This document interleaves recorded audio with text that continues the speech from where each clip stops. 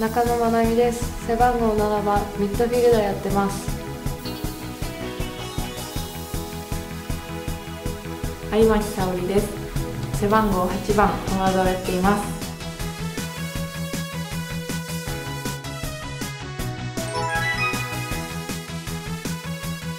こうみんなで戦おうっていう気持ちはすごいみんな持ってると思うんですけど誰かのために自分が頑張るっていう風なことをキャプテンとか、まあ、中心である宮山さんとかが、まあ、言葉でもそうだしプレーでもそういう風に見せてくれるのでもっとチームのために自分ができることをやらなきゃいけないなっていうのはすごい感じます。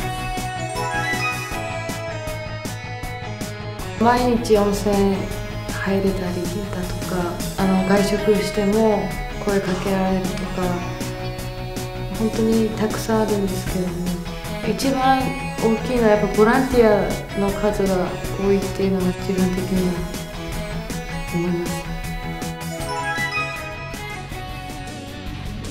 こういうところがいいな。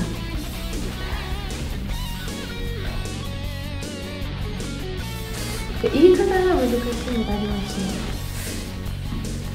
ね、素直に言っていい？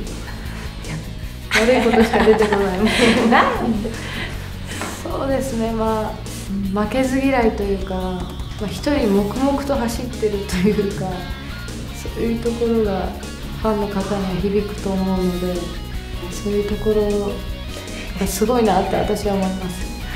そう？そんなと？こうん、そこしか。ない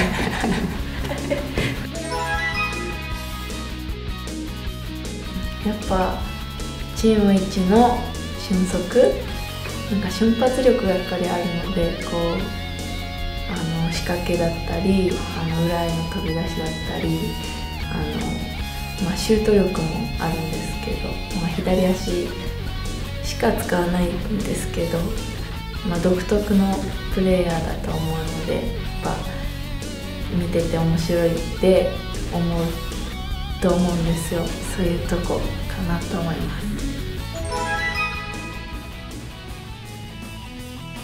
ホームなんですけどもアウェーとかホーム関係なく一戦一戦チーム一丸となってプラス自分の持ち味を出して勝利したいと思います。応援よろしくお願いします。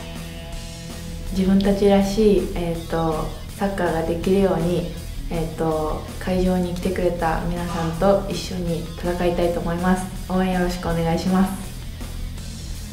応援来てください。